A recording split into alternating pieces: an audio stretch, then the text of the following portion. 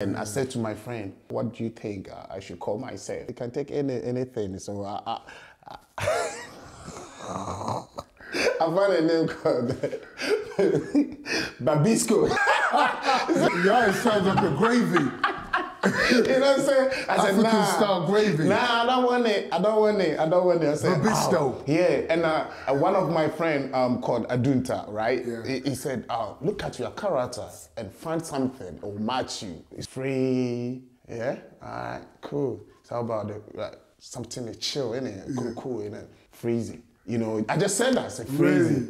and Adunta was like freezy. That's that's that sound catchy, freezy, Nice, yeah. nice, You know what I'm saying? And he said, "Yeah, you got it, freeze." I said, "What? The, uh, how can I spell it?" even, Yeah, yeah, I got freeze, but I don't even know how to spell Yeah, the freeze.